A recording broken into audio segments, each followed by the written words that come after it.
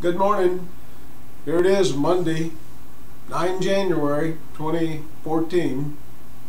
And uh, just getting a little older, wiser, not getting any better at the steel guitar, but maybe that wisdom tells me I never did get much better. So maybe we can play a little something. I'm going to uh, play Crazy Arms, my version of Crazy Arms and Jody was kind enough to send me a backing for it so uh, and I think it's a real good backing and I appreciate uh, him doing it.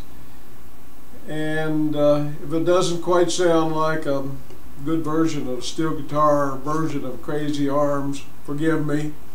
I don't want to do it any injustice so